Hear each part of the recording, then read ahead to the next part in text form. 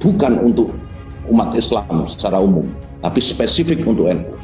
Nah, jadi wajar kalau sekarang NU itu memanfaatkan banyak peluang yang ada di Kementerian Agama, hadiahnya untuk NU.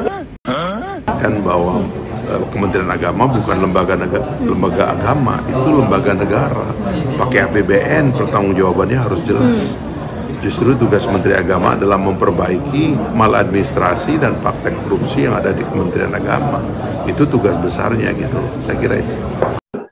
Nah ini ada perdebatan urut, kemudian berkembang perdebatan ini menjadi sejarah asal usul Kementerian Agama. Ada yang bilang di salah satu staf, loh nggak bisa. Kementerian Agama ini kan hadiah negara untuk umat Islam. Karena waktu itu perdebatannya bergeser bahwa kementerian ini harus menjadi kementerian semua agama, melindungi semua umat beragama. Ada yang tidak setuju.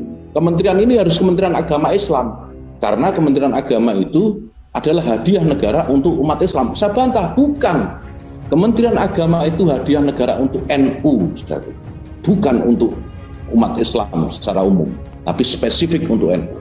Nah, jadi wajar kalau sekarang NU itu memanfaatkan banyak peluang yang ada di Kementerian Agama, hadiahnya untuk NU. Kenapa? Saya kira eh, apa Pak Menteri Agama eh, mungkin bicara internal untuk menghibur para kiai atau apa tapi karena kedengeran keluar jadi nggak enak didengar gitu. Mungkin maksudnya itu istilahnya basa-basi internal gitu loh.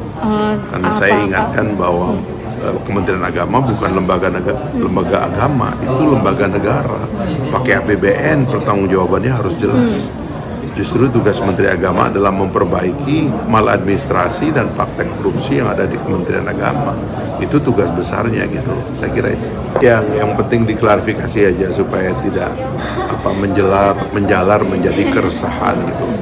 Sebab kan basa-basi mengatakan wajar kalau semua dirjennya NU dan sebagainya nanti kan bikin resah dari apa namanya kelompok-kelompok ormas lain gitu. Saya kira itu harus diklarifikasi menyadari bahwa Kementerian Agama adalah lembaga negara hadir untuk semua orang pakai APBN karena itu harus adil di dalam nomen apa namanya dalam merit sistemnya juga. Nggak bisa kemudian ini milik NU nggak boleh begitu ya